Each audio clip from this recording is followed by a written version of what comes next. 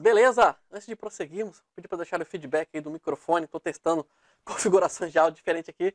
Então me diga se está chegando um limpinho para você, se está legal. E também aproveitando, já que eu já estou dando recado, não deixe de curtir esse vídeo, compartilhar com os amigos, com as amigas, se inscrever no canal se não fez isso. E principalmente comentar os comentários de vocês, me ajudam demais, beleza? Tá dado o recado, então vamos rapidinho aqui para o dados. Eu tenho uma planilha aqui com nomes de estados e vamos supor que você precisa obter dados geográficos. Para não ter que ficar fazendo pesquisas nem nada, o Excel já te dá isso aqui de graça, ok?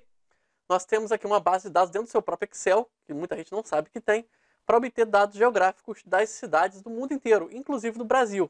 Em especial estados, tá? Isso aqui não funciona muito bem com município, você pode testar, mas geralmente funciona melhor com estados. E para poder obter esses dados é muito simples.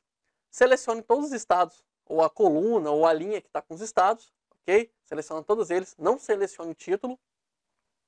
Vá na guia dados, vai aqui em tipos de dados, expande a caixinha se não estiver aparecendo um, o que eu vou mostrar aqui para vocês agora. Então vou expandir aqui clicando na setinha e vai em geografia. Clique em geografia.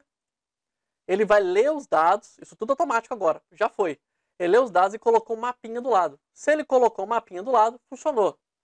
Agora, como é que eu faço para obter os dados?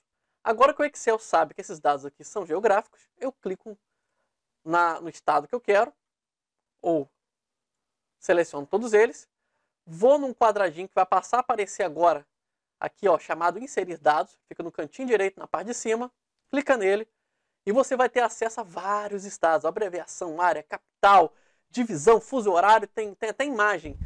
Mas no nosso exemplo aqui eu vou pegar os dados de população, mas você pode testar todos eles aí na sua casa, beleza?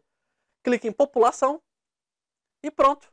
Do lado direito de cada um deles vai aparecer a população, segundo, é claro, a última pesquisa. Então, eu obtive aqui, sem muito esforço, os dados geográficos desses estados.